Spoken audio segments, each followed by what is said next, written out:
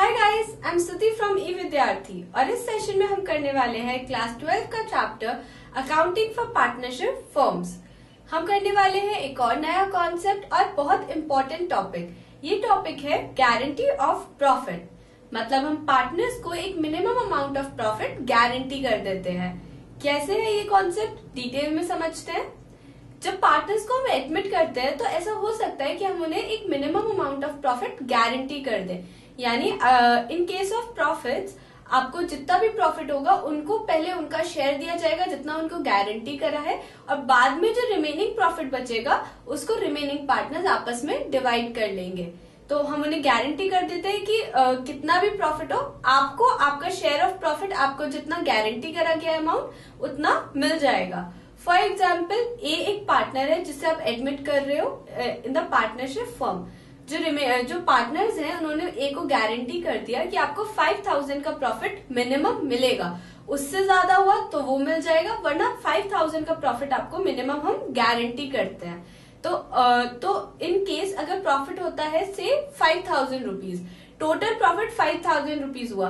तो ए को five thousand rupees दे दिए जाएँगे और रिमेनिंग पार्टनर्स को कुछ नहीं मिलेगा क्योंकि जिसको पहले गारंटी दे रखी है उसको सेटल ऑफ़ करेंगे और उसके बाद बाकी पार्टनर्स शेयर करेंगे।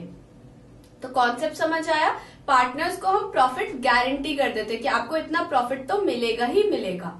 ये होता है गारंटी ऑफ़ प्रॉफिट अब इन अकाउंटिंग टर्म्स अगर हम बात करें तो जैसा कि हमने बोला एडमिशन ऑफ़ द पार्टनर के टाइम पे जो एडमिटिंग पार्टनर है, उसको हम प्रॉफिट गारंटी कर सकते हैं, या फिर even the existing partner can be guarantee profit existing partner को भी हम प्रॉफिट गारंटी कर सकते हैं।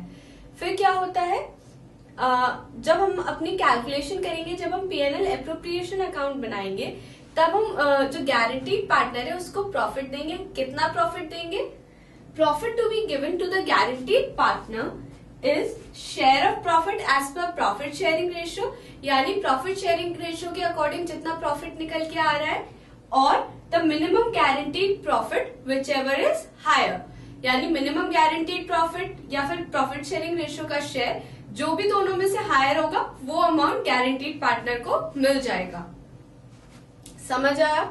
अगर मान लो टेन थाउज़ेंड रुपीज़ है, और प्रॉफिट शेयरिंग रेशियो के अकॉर्डिंग जो हमारा पार्टनर जिसको अभी हमने एग्ज़ाम्पल लिया था ए को एडमिट करा है, और उसका शेयर बन रहा है सिक्स थाउज़ेंड रुपीज़ और उसका मिनिमम गारंटीड प्रॉफिट है फाइव थाउज़ेंड रुपीज़ तब हम क्या करेंगे उसे सिक्स थाउज़ेंड रुपीज़ दे देंगे।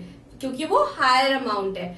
अगर minimum guaranteed profit five thousand है और as per profit sharing ratio four thousand rupees आ रहे हैं, तब हम उसे फाइव थाउज़ेंड रुपीज़ देंगे क्योंकि five thousand is greater than four thousand तो whichever the amount is higher वो अमाउंट हम गारंटीड पार्टनर को पे कर देंगे।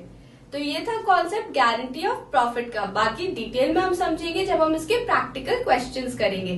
प्रैक्टिकल क्वेश्चन करने से आपको बहुत अच्छे से समझ आ जाएगा कि न्यूमेरिकली इसको कैसे सॉल्व करना है। आई होप आपको ये सेशन समझ आया। एंड स्टिल अगर आपको अभी भी कोई डाउट है you can write us on the comment box and don't forget to subscribe our channel thanks for watching this video and I meet you in the next session till then bye bye